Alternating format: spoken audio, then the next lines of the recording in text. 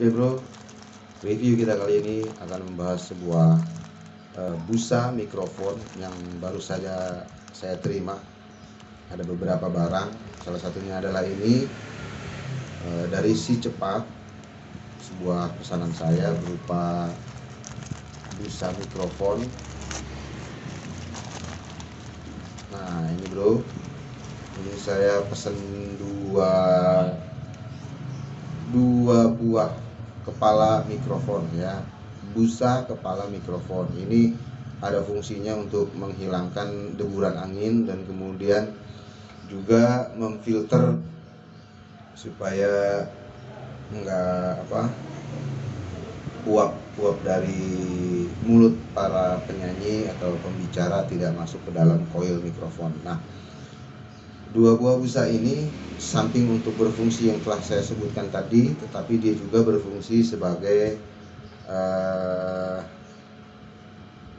aksesoris juga ya. Jadi kelihatannya mikrofon kita lebih terawat, lebih terlindung dan uh, sound system kita ketika kita melakukan wawancara terhadap narasumber, maka ini akan lebih terlihat profesional kita akan tes kita masukkan ke dalam mikrofon. Saya ada satu buah mikrofon mic dinamik ya.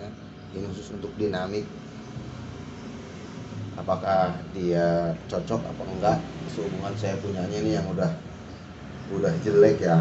Ini umurnya mungkin udah 10 tahun. Nah apakah ini masih bisa kita colokin dulu ya micnya. Apakah dia bisa dihidupkan? Satu dua tes cek cek cek c satu dua tes low tes cek cek cek ah itu suaranya begitu ya. Suaranya kita masukin ke sini ya bro. Kita pakai yang biru aja ya bro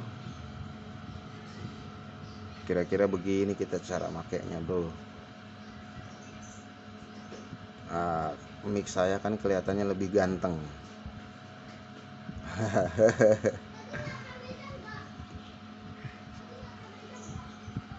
Cek low cek satu dua tes ya secara uh, visual kita tidak mendengarkan adanya suatu perubahan tidak ada perubahan suara antara pemakaian pemakaian mikrofon dengan e, busa.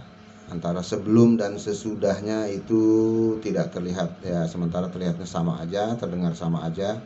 Cuman artinya penampilannya ini jauh lebih lebih ganteng aja ya bro. Kalau orang mungkin ini dipakein baju atau ini orang dipakein topi misalnya